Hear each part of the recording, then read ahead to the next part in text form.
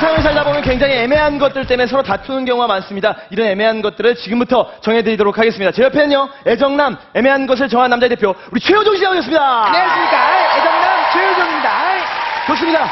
본격적인 주제로 한번 들어가 보도록 하겠습니다. 저희가 시청자들의 사연을 봤는데요. 첫 번째 사연입니다.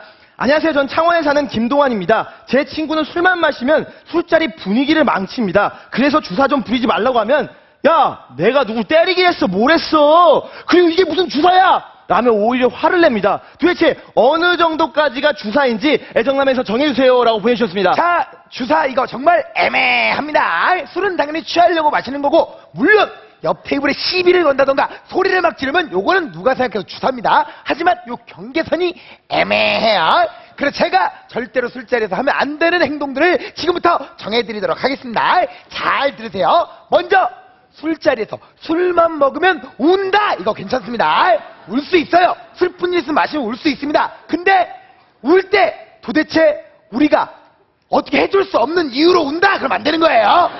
예를 들면 뭐 여자친구랑 헤어졌다든가 뭐 이런 건 괜찮아요. 뭐 시험에 떨어졌다든가 이러면 돼요. 근데 왜, 왜, 왜, 왜, 왜, 왜, 왜? 당봐봐. 왜, 왜, 왜, 왜? 쭈꾸미가 불쌍해. 야, 쭈꾸미. 내가 혼자 들어갔어, 쭈꾸미야. 어떻게 내, 내, 살려줄까? 아, 어떻게? 아, 왜, 왜, 왜, 왜, 왜, 아, 독도가 불쌍해. 왜?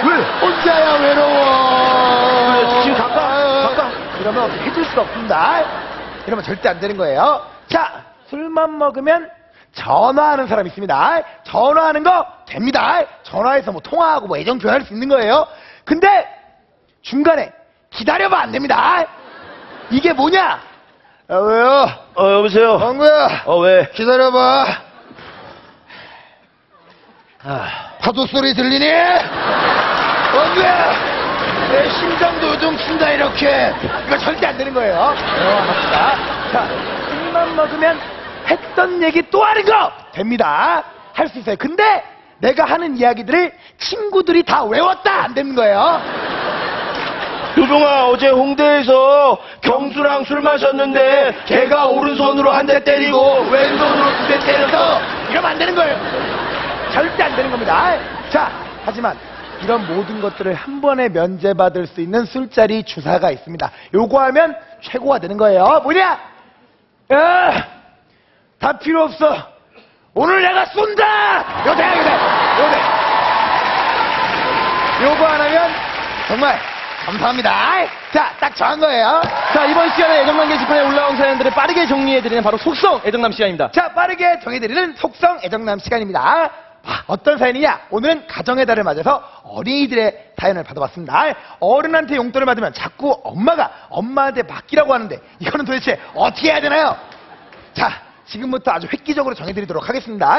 어른이 어떻게 주느냐에 따라서 갈립니다. 어른이 야, 엉구야, 이걸 맛있는 거사 먹어.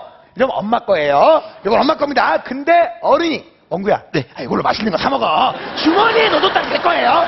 내 주머니에 들어온 거예요. 내 거에 들어오는 게 나오는 거 없습니다. 우리 어린 친구 여러분들 잘 생각하십시오. 어른은 한 두 번 정도 적당히 거절하면 주머니에 넣어줍니다.